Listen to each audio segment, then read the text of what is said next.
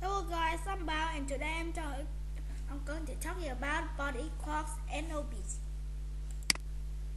Our biological clocks regulate when we sleep, when we wake up, Our, bio- our biological clocks regulate when we sleep, when we wake up, and when we get hungry.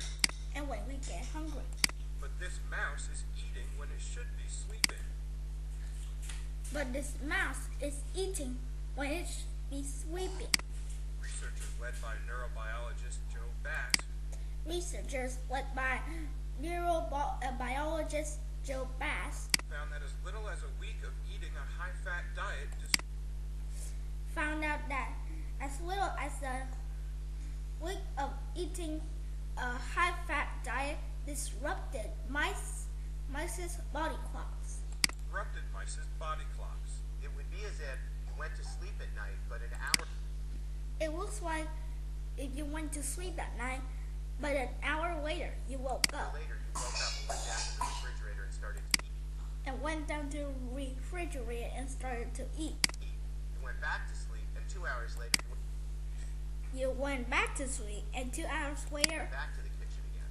Then, you went back to the kitchen again. Bass's team at Northwestern University fed some mice regular chow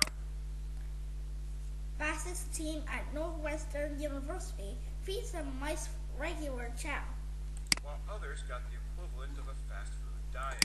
while others got the equivalent of a fast food diet. They monitored the animal's sleep, activity, and eating.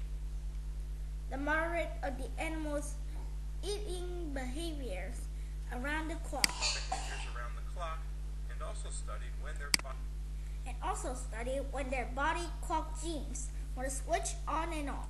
clock genes were switched on and off.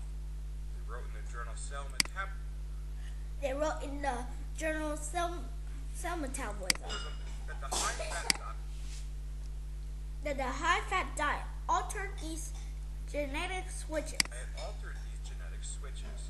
So it would be as if the clock hands are stuck in one position So it would be as if the clock hands are stuck in one position and are only sort of in, in a very erratic and abnormal and are only sort of in a very erratic and abnormal way, way advancing around the 24-hour cycle.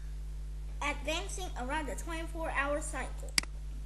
Mice are nocturnal, but their day and night cycles Mice are nocturnal, but their day and night cycles. are controlled by the same genes as people's. are controlled by the same genes as people. Bass suggests that researchers searching for treatments for obesity Bass suggests that researchers are searching for cure for obesity and metal- metabolic syndrome. Obesity and metabolic syndrome might do well to watch the clock. Might do well to watch the clock. I'm Brad Closa. I'm Brad Closton. Okay, bye. This is the end of the video. Good job.